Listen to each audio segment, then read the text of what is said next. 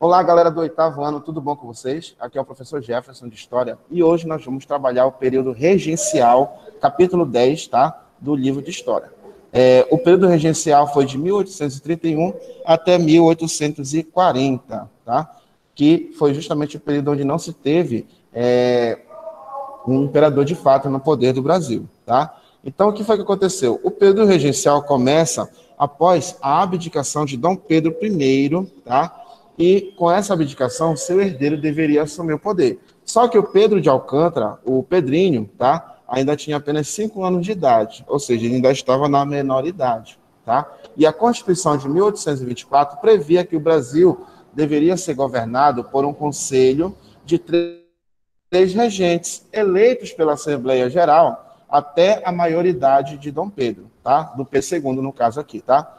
Como a Assembleia estava em recesso, o grupo que estava na região se reuniu e elegeu inicialmente três regentes provisórios, tá bom? Então, quando se fala em período regencial, é o período de governo dos regentes, tá? Ao todo, nós tivemos duas regências trinas, ou seja, duas regências de três governantes, tá? E duas regências unas, que foi dois períodos de apenas um regente. É, eles fazem uma manobra para da lei, da Constituição, para eleger apenas um regente, tá bom? Por quê? Porque havia muita disputa de poder entre eles, ok? E aí o que acontece? Ah, o que caracteriza o período regencial foi justamente a descentralização política, um período de instabilidades e revoltas nas províncias, ou seja, não tinham poder centralizado nesse momento, e isso facilitou é, as províncias, as regiões lutarem para se separarem do Império Brasileiro, tá bom? Quando se fala em política na regência, a gente tem essa distribuição aqui, esse quadro que eu coloquei para vocês, inclusive, aí na nossa última aula, tá? Os grupos políticos que disputavam poder durante a regência, por isso que foi transformado de três para um, porque havia muita briga pelo poder. Tu tinha os restauradores ou os caramurus, tá? Que esses restauradores eram o grupo de comerciantes e militares da ala portuguesa, tá? Eles pediam o retorno de Dom Pedro, tá? defendiam o absolutismo, defendiam o império, tá? concentrado na mão é, do Dom Pedro I. Só que os restauradores eles somem em 1834. Por quê? Uma de suas ideias era o retorno de Dom Pedro I para o Brasil, tá? Só que o Dom Pedro morre em 1834, né? Então não faz sentido eles existirem. E aí você tem os liberais moderados, que eram chamados de chimangos, tá? Uh, que fazia parte dos liberais, a aristocracia rural, inclusive o padre Feijó, eles não queriam o fim da, do, do, império, mas eles queriam uma manutenção tá, da monarquia. Eles queriam voto censitário, eles queriam justamente é, mais autonomia nas suas regiões. E os liberais exaltados, que já são mais radicais, né? mais conhecidos também como farroupilhas por causa da sua radicalização. Tá? Eram as classes médias urbanas, e eles pregavam justamente o fim do império. Eles pregavam o fim da centralização. Eles queriam mais autonomia e eles queriam implanta, a implantação de uma república no lugar do império. Assim, eles diziam que, tinham, que teriam mais liberdade para participar das decisões.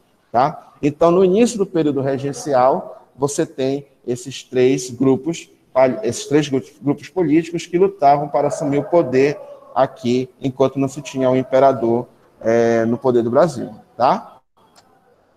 E aí o que acontece? Como na época da, da abdicação, como eu falei para vocês, a Assembleia estava em recesso, foi escolhidos aí provisoriamente somente os políticos que estavam na Assembleia é, trabalhando. Então, acontece justamente a regência trina provisória, que foi de 7 de abril a 7 de junho, ou seja, em torno de dois meses, em 1831, a regência trina provisória foi comandada pelos senadores Carneiro Campos, Campos Vergueiro, tá? E o brigadeiro Francisco de Lima e Silva, tá? É, durante esse período aí de dois meses, houve algumas, algumas, algumas mudanças, né, algumas medidas aí, como a readmissão do Ministério dos Brasileiros, a anistia aos presos políticos e a suspensão temporária do poder moderador ok? Então, como não se tem o imperador, não faz sentido também ter o poder moderador, que era exclusivo do império, do, do governante, né?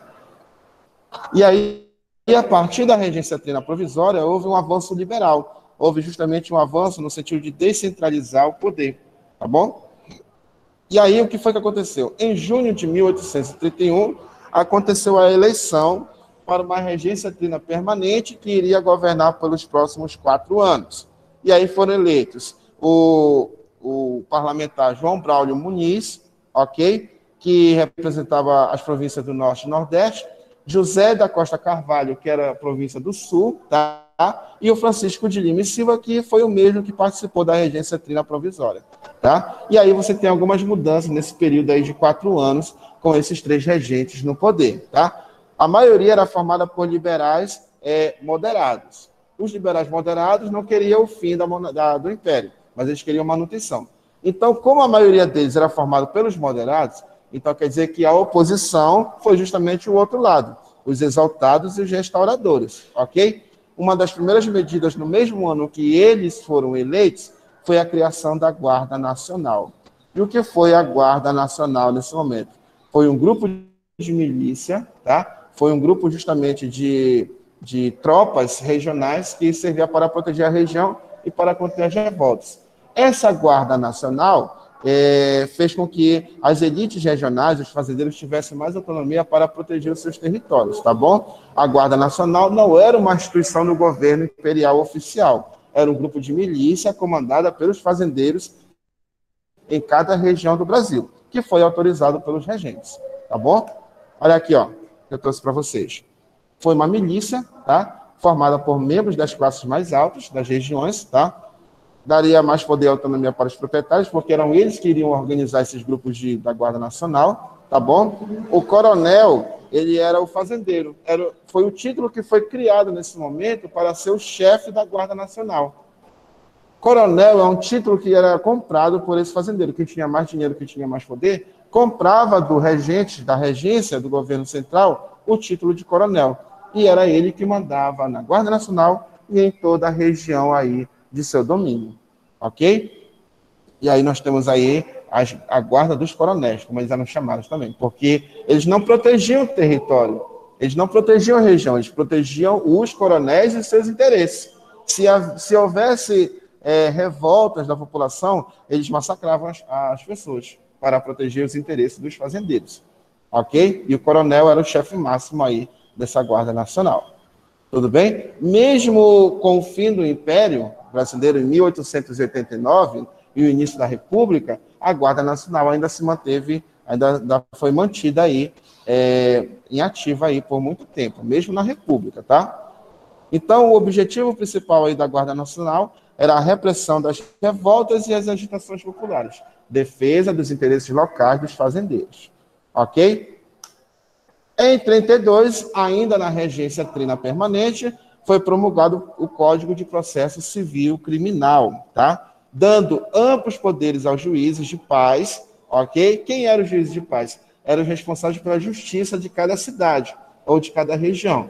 Eles apenas julgavam. Mas agora, com o Código de Processo Civil Criminal, tá? Ele, os juízes de paz poderiam prender as pessoas suspeitas, tá? Olha como eu coloquei para vocês aqui, ó poderiam prender pessoas consideradas suspeitas de instaurar processos sobre elas, tá? Ou seja, instaurar, perdão, processo sobre elas. Ou seja, ele tinha mais poder, é, não precisava ter provas nem acusação. Se aquele juiz de paz considerasse aquele grupo ou aquela pessoa suspeita, ele poderia prender e julgar de acordo com a sua vontade.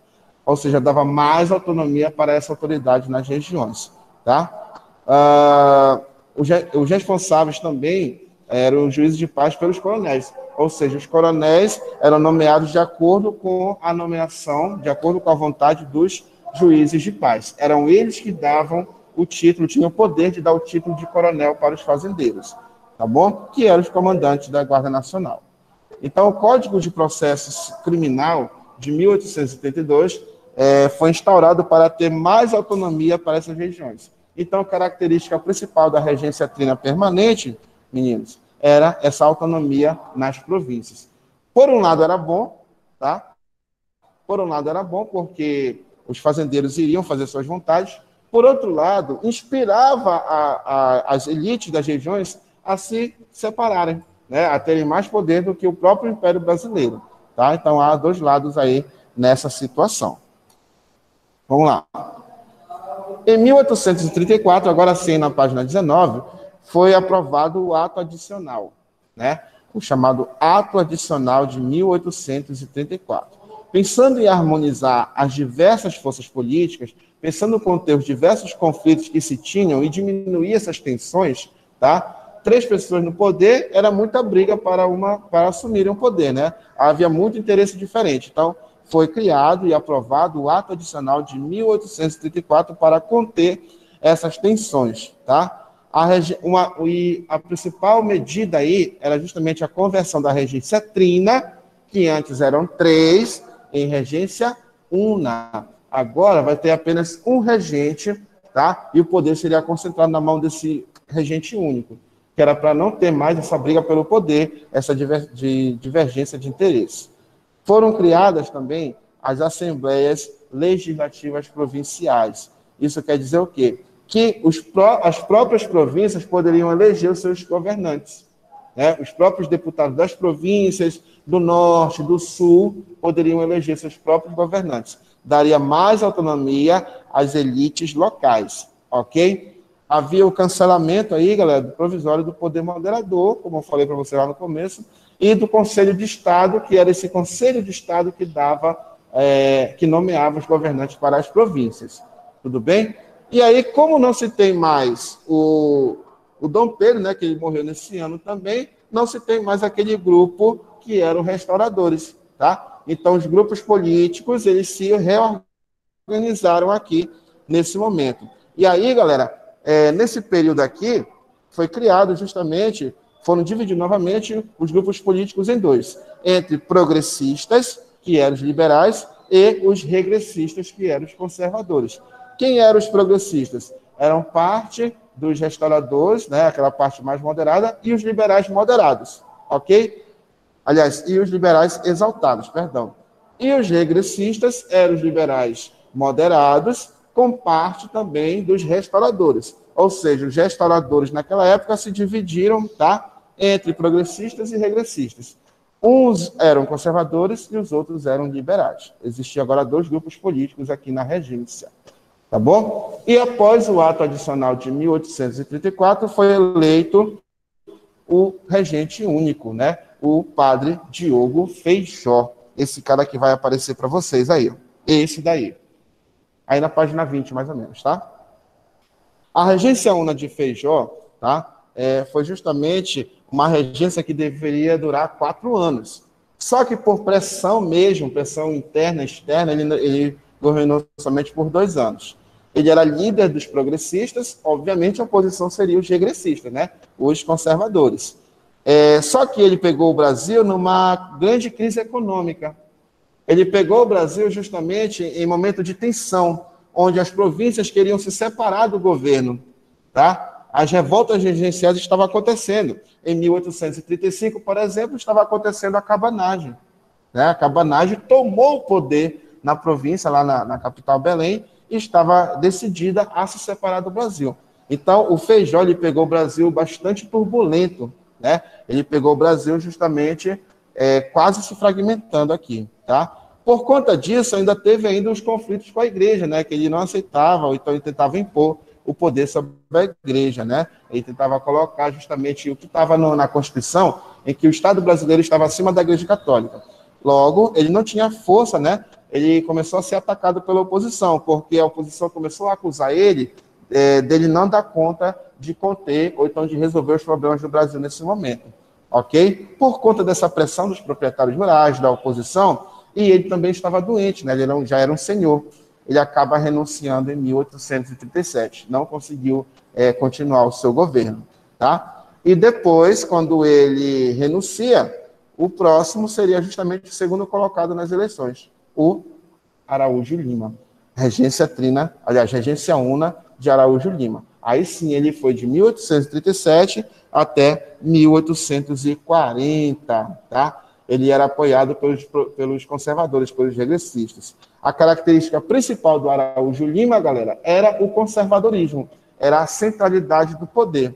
Né? Houve maior concentração de poder nas mãos dele, tá? Ele foi o cara responsável por mandar as tropas para as províncias para reprimir as revoltas. Durante o governo de Araújo Lima, as revoltas regenciais elas foram abafadas, elas foram controladas. Então, ele tinha mais poder ele tinha mais pulso do que o padre Diogo Feijó, tá? Então, veja bem, pessoal, em 1840, no último ano do seu governo, ele acaba aprovando a lei interpretativa do ato adicional. Ou seja, era uma lei em cima da outra.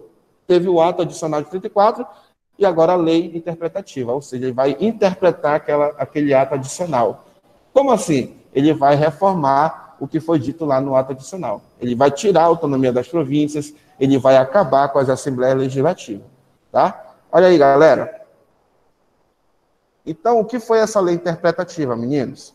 Foi justamente a reforma do Código de Processo Criminal. Ele, ju, os juízes de paz não tinham tanto poder, o Araújo de Lima tira esses poderes. Né? Quem manda agora é ele, é o governo central. Ele é bastante autoritário nesse sentido aqui, tá?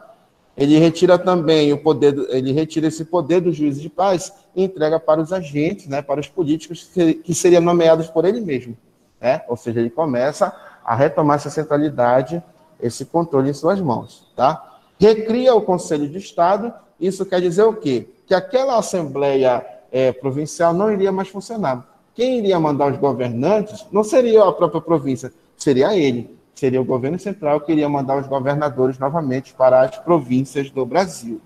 Tá? E isso causa uma insatisfação das elites locais. Mas ele consegue, pessoal, é, governar até o final, até 1840. Em 1840 não existe mais, não vai ter mais outra eleição para um próximo regente. Por quê? Porque o Dom Pedro ele começa começa a articular a sua subida ao poder. Em 1840, pessoal, o Dom Pedro II, aliás, o Pedro de Alcântara, que ainda não era Dom Pedro, tinha apenas 15 anos. Né? Foi o chamado golpe da maioridade. Eles mexeram na lei para que a maioridade passasse de 21 para 18 e depois de 18 para 15 anos. Ok? Então, isso a gente vai ver na nossa próxima aula, ok? E vamos falar também das revoltas regenciais aqui na na, na regência, tá? Aqui no Império Brasileiro, tá bom? Eu vou finalizar agora aqui com vocês, e aí qualquer coisa vocês me chamem que nós estamos aí, tá bom? Tchau, tchau, meninos. Leiam o livro aí.